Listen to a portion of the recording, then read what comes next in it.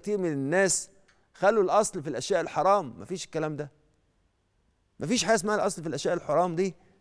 الأصل في الأبضاع الحرام آه. الأصل في في الدماء الحرام آه. إلا إذا كنتوا خليتوا الحياة كلها أبضاع ودماء. لكن الأصل في الأشياء الإباحة مش الأصل في الأشياء الشبهات. في ناس خلت الأصل في الأشياء الشبهات لدرجة إن الناس لما أجي أقول له ده حلال يقول لي أمال فين الحرام؟ وكأني الشعور اللي اللي كرسه بعض الناس مع التدين الكمي اللي هو تدين غير علمي إيه اللي حاصل؟ إن الأصل في الأشياء الحرم. لكن الحديث بيقول لك إن أنت تحتاج إلى بحث واجتهاد والشبهات ديت هي اللي بتحتاج إلى بحث واجتهاد من العلماء مش منك أنت.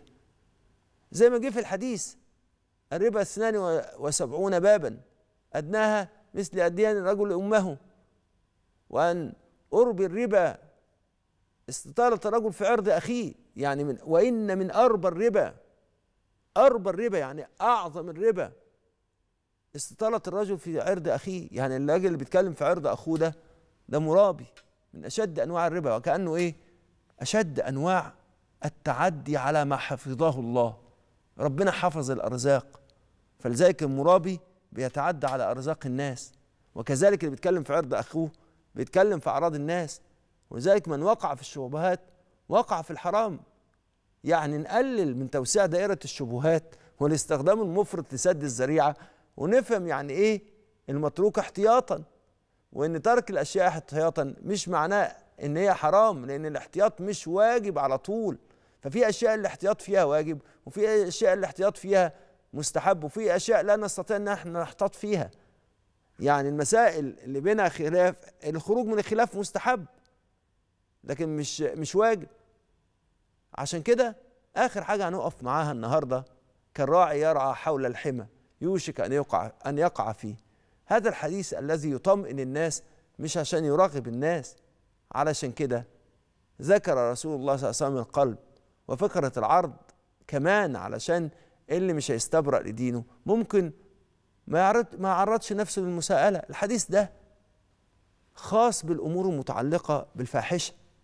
وإنما في كل الأمور اللي بيدخل, بيدخل فيها الإنسان أي نوع من أنواع إن هو يبعد عن مراد الله سبحانه وتعالى.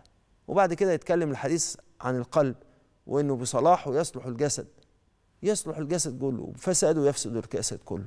يا سادة الحديث ده بيعلمنا الاتزان وعشان كده الحديث ده بيعلمنا ثلاث حاجات. أول حاجة لا تتجرأ على الفتية. ولا تتجرأ على وصف الأشياء بالحلال والحرام. تاني حاجة اسأل فإن السؤال نجاة لمن لا يعلم. الحاجة الثالثة والمهمة ليس كل الناس يعلم ولهذا يحتاج الناس إلى العلماء. رابع حاجة وآخر حاجة إذا أردت أن تستبرئ لدينك أصمت فيما لا تعلم. واسأل فيما لا تعلم لأن هذا هو الاستبراء للدين. لأن الاستبراء في الدين يكون بي فاسألوا أهل الذكر إن كنتم لا تعلمون وإنما شفاء العي السؤال يا رب اجعلنا من أهل براءة الدين بأن يب أن يكون ديننا بريئا من كل تعد على مرادك ومن كل تعدي على ما جعلته يا ربنا من واقع جعلته يا ربنا فيه الثابت من الحلال والحرام. ثابتا.